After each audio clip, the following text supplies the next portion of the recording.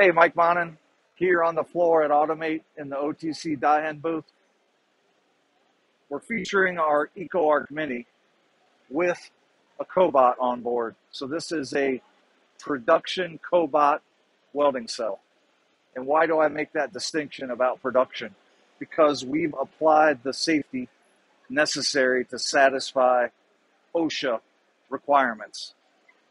So that means we put in barriers here so you're protected from arc flash, but also pinch point protection.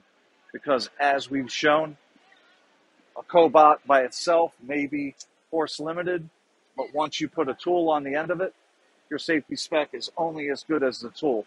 And every weld gun has wire sticking out the end of it. So you really got a dangerous situation here with something that could hurt you in maybe even a permanent way. So we have to take that safety into account.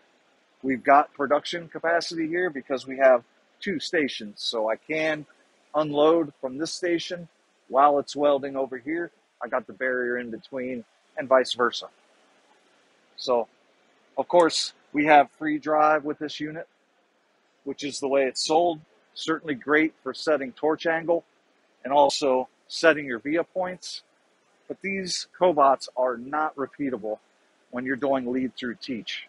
So if you're trying to do a weld and hold your wire in the weld joint, you can't teach those weld points using lead through teach. You're going to have to pick up the teach pendant and teach it like a conventional robot.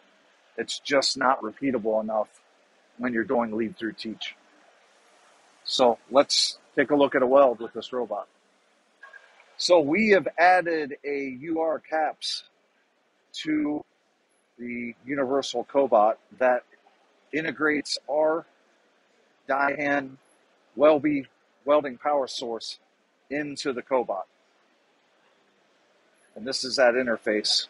And with that, we generate this program, which allows us to do a weld. So we've taught this in.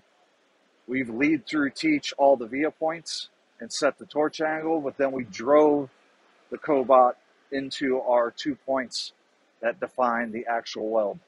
Let's watch this run.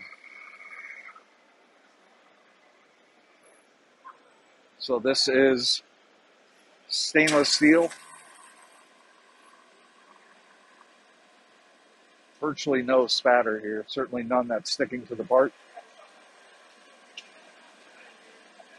Very high quality weld coming out of a cobot.